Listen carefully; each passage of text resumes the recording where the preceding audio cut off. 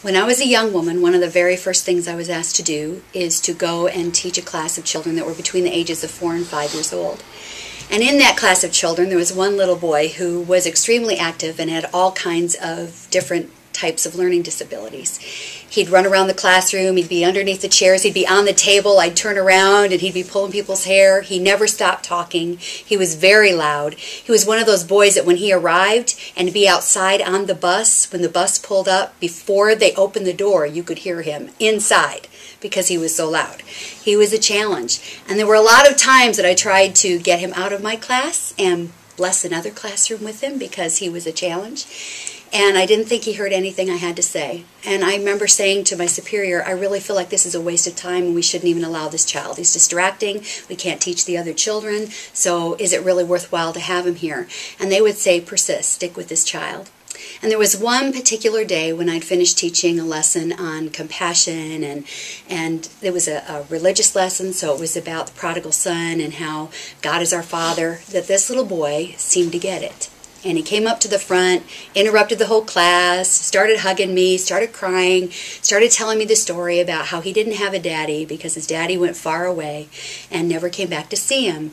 I remember him saying he promised he'd come and get me, but he's never come back. And my mommy, she doesn't want me, so it'd be nice if I could have a daddy. And if we pray, will God be my daddy?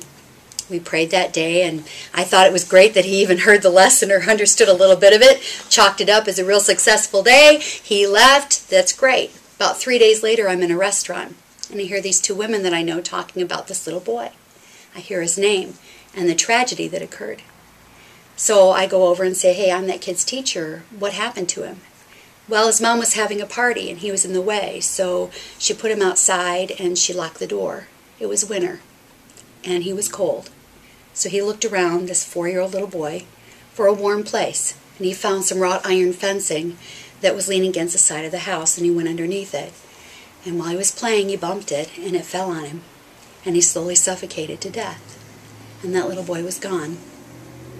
I didn't eat, I didn't sleep for a while.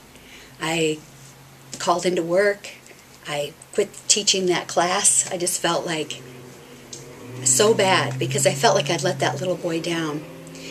Ultimately, what I finally came to to be able to get out of that place was a realization that we cannot protect children from life, but we can prepare them for it. This is Pastor Carla Ives, founder of what was first named Reach the Children of the World to what is known now as HeartCry International. Pastor Ives started traveling and noticing the needs of children around the world training mentors and children in schools, providing them with resources. Oh, but this wasn't. Enough. I just began to get restless with what we were doing three, four years ago because you can only go into these countries so many times and do this training, do this teaching, and bring these kids, and you bless them, and they have a great school week, or they have great. Um, classes and lesson and experience and then you send them back out on the street and you see them on the street and that's where they're going to be raped and hurt and abused that night HeartCry International is a Mount Pleasant, Michigan based organization where staff and volunteers are trained, equipped, and sent to target nations to establish and further develop existing impact centers that provide Christian schools, feeding centers, orphanages slash children's homes, medical care and healthcare training, street centers, Christian discipleship, Bible training, and Christian counseling services.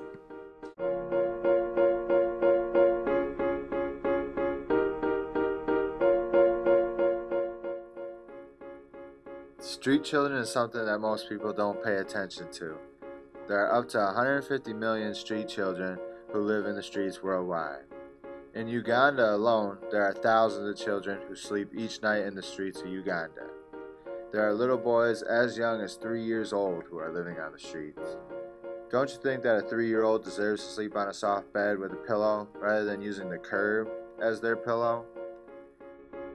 Street children are children who have um, ended up on the streets and literally they live on the streets. They live in wherever they can find lodging for the night. Sometimes I remember this one young man I met and he showed me his home. He carried it in his back pocket. It was a black garbage bag And so when it was raining, he slept under it, and when it wasn't raining, he slept on top of it. But that was everything he had, was that little, that's his home. So these street kids are on the street. Sometimes they've run away from an abusive situation. Um, one of the questions we always get asked is, why are you helping these kids when they probably are all just runaways? No, a very small minority is our, our children, boys, girls who've run away because of an abusive situation. Most of these kids are on the streets because they were the oldest child in the family and the parents couldn't handle them anymore. They, they have too many kids, and so you're the oldest. We're putting you out on the street. You have the best chance of survival. We'll see you later. Good luck. And that's the end of the story. Some of them have lost their fathers, their parents, both parents to AIDS. AIDS is wiping out a generation there in Uganda, so it is a big issue. In order to get these boys off the streets, homes were built to house them. In these homes, bunk beds and mattresses are provided for the boys. They're not bad kids, they're just survivors, and they're doing their very best. Is a few years ago, we bought a metal container a shipping container and we set it up on the property and we built these little shelves in it and we called it a street center and this is a place where the boys mostly there were street boys in that area so when they came in they could wash they could take uh, wash their clothes. They could take a little bath. They could get dewormed. They could get debugged they could get basic medical needs met there. They got fed there. We had a tragedy though. A few weeks ago we had one run away and he got hit by a car. He's dead. That's why we keep doing what we're doing because these kids they live such a hard life in a hard world and you know when I got the call about the boy I was devastated because I they call me Jaja which means grandma. I mean I love these kids but you know, I had my cry, and then I said, okay, we we just got to do more. We, we've just got to do more. We've got to come up with a better plan for the older ones now, and we're going to have to do something different than we've done. The plan's working with the younger. Obviously, we need to tweak the plan for the older. That's our whole focus this next year, because I don't want any more to die. That at least we can help prevent.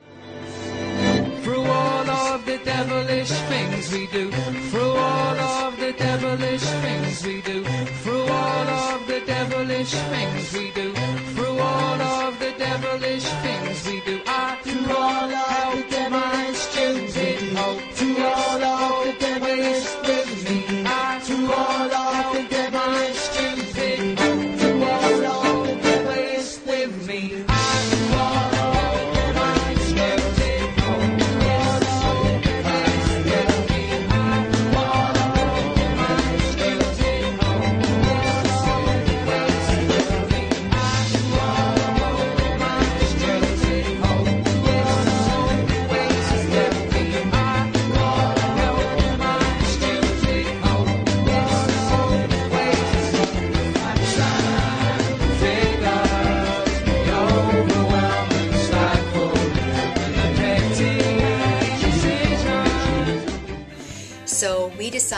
decided that we would start a sponsorship program so these kids can go to school.